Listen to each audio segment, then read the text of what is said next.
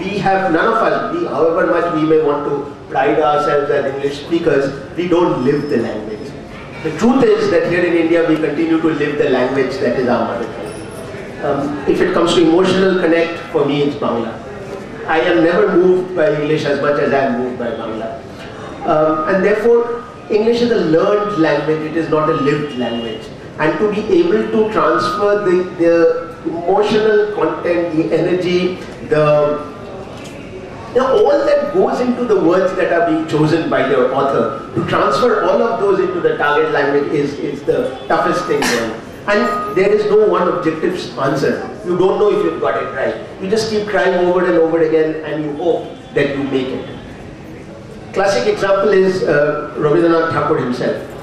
Rabindranath Tagore, when he wrote his prose, he, he didn't know restraint he would pile on metaphors and images till he was blue in the face. You know, the thought was clear from the first uh, couple of phrases, but he just went on and on, piling it on, relentlessly almost.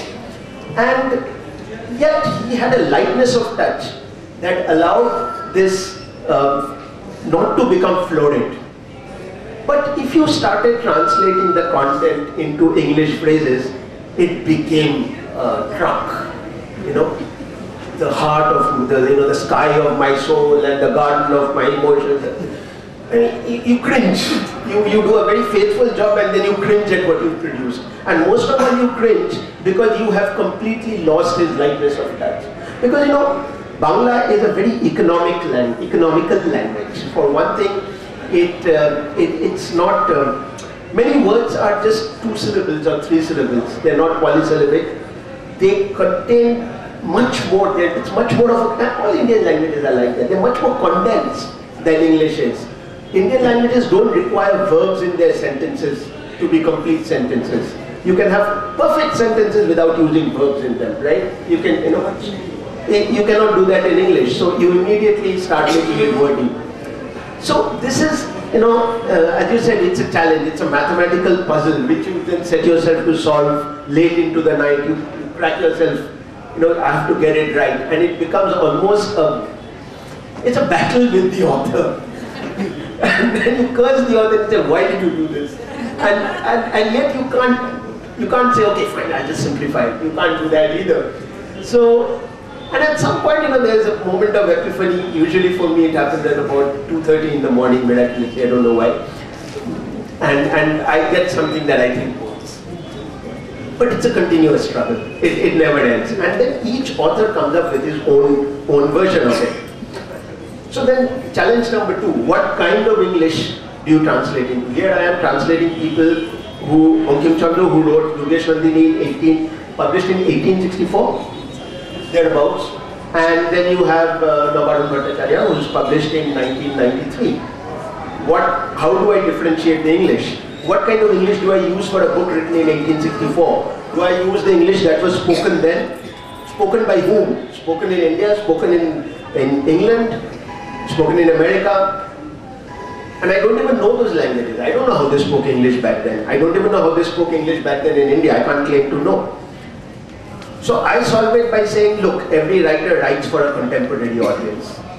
I mean, I'm sure Tagore wrote for, for posterity even he always, only he could have said, Ajiyote Shwatamarshya Padheke Tumi Gaike Mor. So, you know, he knew 100 years on they would be reading his works.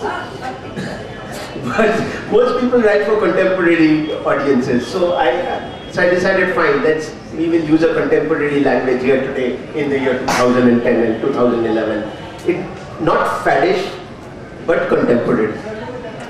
So that's problem number two. Problem number three is um, um, invectives. Indian languages have such beautiful, colorful invectives.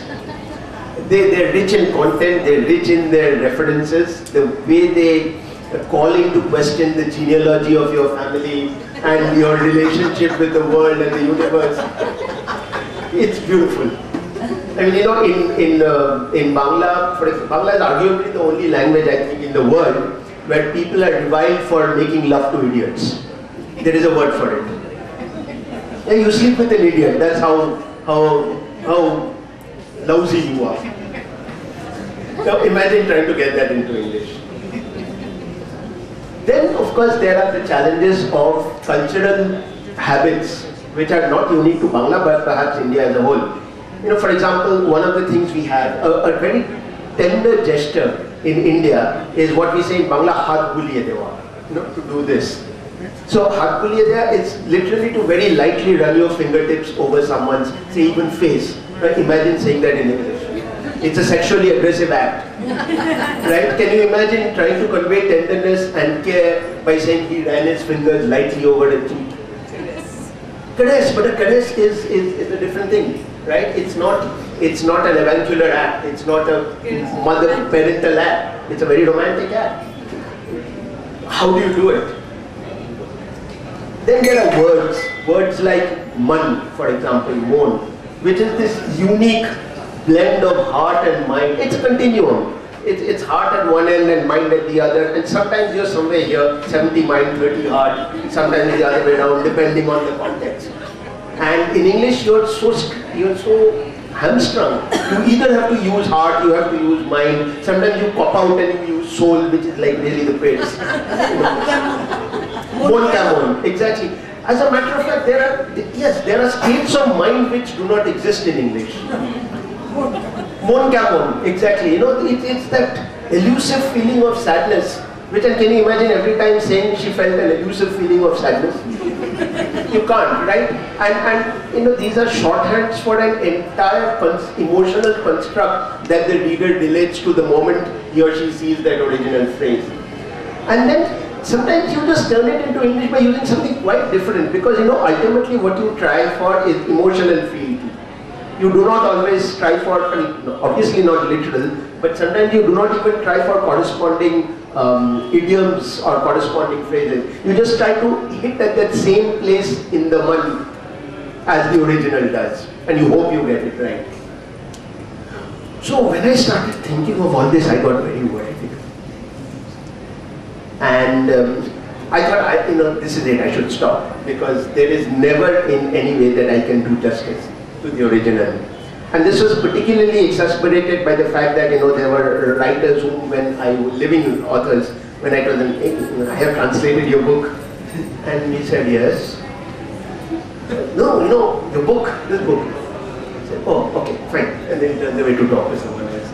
And then you realize that you know, to some people it makes no difference. The authors are not interested, and then Today, we also find that what's happened is that the market has inevitably taken over even when it comes to translations.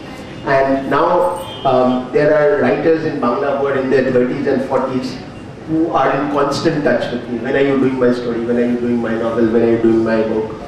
And then you realize that these people are going to be far more demanding. So while earlier the challenge was only about meeting your own standards of um, fealty, now you have the original writer also sitting waiting in the wings to, to make sure that you've got it right. And recently I had an exchange with one of the um, contemporary writers who works I translated who told me, you haven't got it. This guy is very unsure of himself. The way you've written it makes him sound so confident.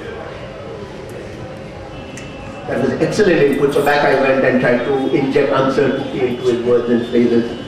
But you just realize that, you know, the, the more you work on it, the more difficult it gets. It doesn't get any easier. But you, speaking for me, I keep trying to push the envelope. Look for harder and harder text to translate. Look for bigger challenges. And um, I know I might fail, but I want to fail more spectacularly than, than before.